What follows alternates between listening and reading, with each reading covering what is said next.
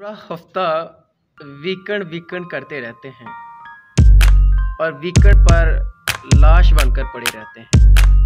लाश बन के पड़े रहते हैं। ये स्टोरी है कि हॉस्टल लाइफ की और हम हॉस्टल में अपना वीकेंड कैसे गुजारते हैं। बेसिकली आज हमारे साथ भी भाई मौजूद हैं। इनसे भी बात करेंगे। वीकेंड में कैसा गुजारता है? बंदा उठता ही बारह बजे। है बारह एक बजे आँख खुलती है उसके बाद देखता है अभी तो जल्दी उठ गया और फिर सोने की तैयारी में।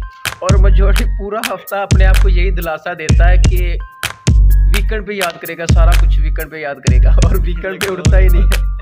हाँ, बिल्कुल वीकेंड पे तो उठता ही नहीं है ना। हाँ दिल भी नहीं करता पढ़ने को जस्ट कहता है ये दो दिन तो रिलैक्स करने के लिए होते हैं। और बाकी दिन सोचता रहता है नहीं यार वीकेंड पे पढ़ूँगा ऐसा ही है तो वीकेंड पे चले यार वो भी अलहदा सिनेरियो था। ये जो हॉस्टल की लाइफ है ये सबसे बड़ी प्रोफेशनल लाइफ है। इसमें कपड़े खुद धोने पड़ते हैं। बिल्कुल अभी मैं तैयारी कर रहा हूँ। बिल्कुल। बर्तन खुद धोने पड़ते हैं। सालन खुद बनाना पड़ता है। रोटियाँ खुद बनानी पड़ती हैं या लानी पड़ती है। मतलब सारी जो तैयारी होती है ना ज़िंदगी की चाय सबसे चाय बिल्कुल चाय चाय के बगैर कैसे ज़िंदगी? चाय खुद तैयार करनी पड़ती है। यानी कि ज़िंदगी जो तैयार की जाती है ना वो हॉस्टल में की जाती है। और जब बंदा चार साल हॉस्टल के गुजारता है बिल्कुल सीखने को बहुत कुछ। लोगों से रहा कैसे रखना है और प्रोफेशनल लाइफ के लिए यानी कि एक शादी करने के लिए बंदे को पूरा तैयार किया जाता है। यार ऐसे ही है ना? खाना उसको बनाया सिखा रहे हैं। उसको चाय उसको बनाने सिखा रहे हैं। बर्तन धोने उसको सिखा रहे हैं। कपड़े धोने उसको सिखा रहे हैं। मतलब सारी चीज़ें उसको सिखा रहे हैं तो मतलब उसको शादी के लिए तैयार कर रहे हैं ना। ये हॉस्टल की लाइफ है। आज हम भी हॉस्टल में बैठे हुए हैं। खैर ये दिन भी गुजर जाएँगे। शादी हाल हॉस्टल हाँ जी इस हॉस्टल का नाम भी शादी हाल हॉस्टल है। और बाकी शुरू शुरू में बंदा थोड़ा सा तजस में होता है यार कहाँ फंस गए? ऐसे हो गया पढ़ा नहीं जा रहा। यार सारी चीज़ें वक्त के साथ मैनेज होती है। वक्त की ये क्वालिटी है कि जैसा हो अच्छा हो या बुरा हो वक्त गुजर जाता है। यह मैं निकलता है। कोई हॉस्टल की कोई ऐसी बात कोई इंटरेक्ट करना यार यहाँ पे बर्तन सारा कुछ तो खुद धोना होता है कि कोई किसी किस्म की टेंशन नहीं होती।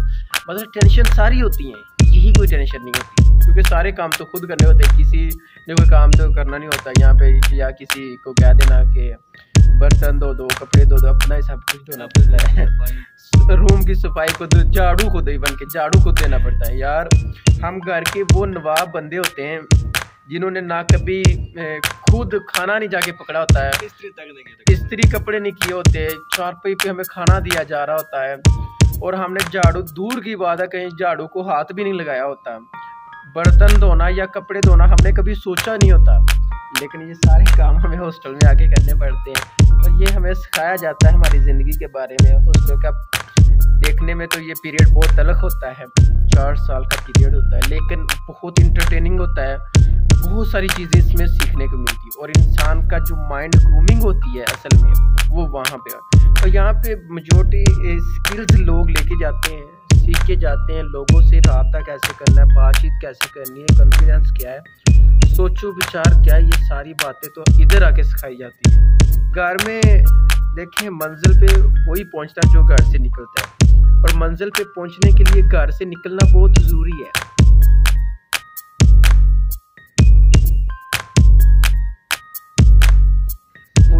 वीकेंड वीकेंड करते रहते हैं और वीकेंड पर लाश बन के पड़े रहते हैं। ये स्टोरी है कि हॉस्टल लाइफ की और हम हॉस्टल में अपना वीकेंड कैसे गुजारते हैं। बेसिकली आज हमारे साथ भी भाई मौजूद हैं, इनसे भी बात करेंगे वीकेंड में कैसा गुजारता है। बंदा उठता ही बारह बजे बारह एक बजे आँख खुलती है, उसके बाद देखता है, अभी तो जल्दी उठ गया। और फिर सोने की तैयारी में। और मजोरिटी पूरा हफ़्ता अपने आप को यही दिलासा देता है कि वीकेंड पे याद करेगा सारा कुछ वीकेंड पे याद करेगा। और वीकेंड पे उठता ही नहीं है। हाँ बिल्कुल वीकेंड पे तो उठता ही नहीं है ना। दिल भी नहीं हाँ दिल भी नहीं करता पढ़ने को। जस्ट कहता है ये दो दिन तो रिलैक्स करने के लिए होते हैं। और बाकी दिन सोचता रहता है नहीं यार वीकेंड पे पढ़ूँगा। ऐसे ही है ना। तो वीकेंड में चले खैर वो भी अलहदा सिनेरियो था। ये जो हॉस्टल की लाइफ है ये सबसे बड़ी प्रोफेशनल लाइफ है। इसमें कपड़े खुद धोने पड़ते हैं। बिल्कुल अभी मैं तैयारी कर रहा हूँ। बिल्कुल। बर्तन खुद धोने पड़ते हैं सालन खुद बनाना पड़ता है रोटियाँ खुद बनानी पड़ती हैं या लानी पड़ती है। मतलब सारी जो तैयारी होती है ना ज़िंदगी की चाय चाय बिल्कुल चाय चाय के बगैर कैसी ज़िंदगी चाय खुद तैयार करनी पड़ती है यानी कि ज़िंदगी जो तैयार की जाती है ना वो हॉस्टल में की जाती है। और जब बंदा चार साल हॉस्टल के गुजारता है बिल्कुल सीखने को बहुत कुछ लोगों से रबता कैसे रखना है और प्रोफेशन लाइफ के लिए यानी कि एक शादी करने के लिए बंदे को पूरा तैयार किया जाता है। यार ऐसे ही ना? खाना उसको बनाया सिखा रहे हैं। उसको चाय उसको बनाने सिखा रहे हैं। बर्तन धोने उसको सिखा रहे हैं। कपड़े धोने उसको सिखा रहे हैं। मतलब सारी चीज़ें उसको सिखा रहे हैं तो मतलब उसको शादी के लिए तैयार कर रहे हैं ना। ये हॉस्टल की लाइफ है। आज हम भी हॉस्टल में बैठे हुए हैं। खैर ये दिन भी गुजर जाएँगे। शादी हाल हॉस्टल। हाँ जी इस हॉस्टल का नाम भी शादी हाल हॉस्टल है। और बाकी शुरू शुरू में बंदा थोड़ा सा तजस्स में होता है यार कहाँ फंस गए ऐसे हो गया पढ़ा नहीं जा रहा। यार सारी चीज़ें वक्त के साथ में नहीं होती है। वक्त की ये क्वालिटी है कि जैसा हो अच्छा हो या बुरा हो वक्त गुजर जाता है। यह मैंने गलत कोई हॉस्टल की कोई ऐसी बात कोई इंटरेक्ट करना यार यहाँ पे बर्तन सारा कुछ तो खुद धोना होता है कि कोई किसी किस्म की टेंशन नहीं होती। मतलब टेंशन सारी होती है यही कोई टेंशन नहीं होती। क्योंकि सारे काम तो खुद करने होते हैं किसी ने कोई काम तो करना नहीं होता यहाँ पे या किसी को कह देना कि बर्तन धो दो कपड़े धो दो अपना ही सब कुछ धोना पड़ता है। रूम की सफ़ाई खुद झाड़ू खुद ही बन के झाड़ू खुद देना पड़ता है। यार हम घर के वो नवाब बंदे होते हैं जिन्होंने ना कभी खुद खाना नहीं जाके पकड़ा होता है। स्त्री कपड़े नहीं किए होते चार पे हमें खाना दिया जा रहा होता है। और हमने झाड़ू दूर की बात है कहीं झाड़ू को हाथ भी नहीं लगाया होता। बर्तन धोना या कपड़े धोना हमने कभी सोचा नहीं होता। लेकिन ये सारे काम हमें हॉस्टल में आके करने पड़ते हैं। और ये हमें सिखाया जाता है हमारी ज़िंदगी के बारे में। हॉस्टल का देखने में तो ये पीरियड बहुत अलग होता है।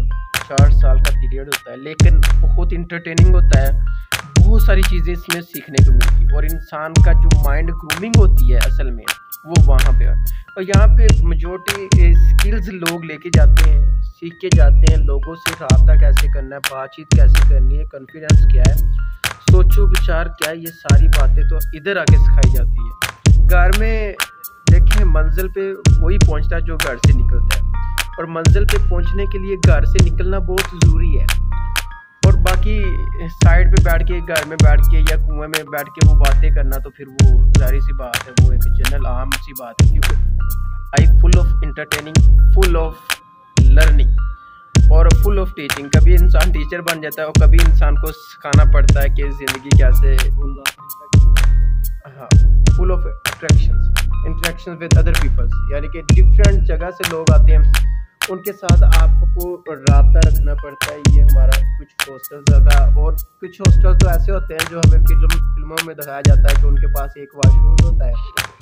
और फिर वहाँ पे लाइनें लगी होती है, लेकिन बिल्कुल ऐसा नहीं होता है। यहाँ पे यहाँ पे सात वाशरूम है तो दस कमरे हैं, ऊपर वाले पोर्शन में। तो आप इजीली मतलब इसको इस्तेमाल कर सकते हैं। नीचे पोर्शन है एक हॉस्टल का, वहाँ पे डिफरेंट रूम्स है। अगर आपको सरगोदा यूनिवर्सिटी में एडमिशन लेने का इतफाक होता है और अगर आप आउटसाइड हॉस्टल लेना चाहते हैं तो आपने खाड़ी के साथ बिल्कुल आ जाना है।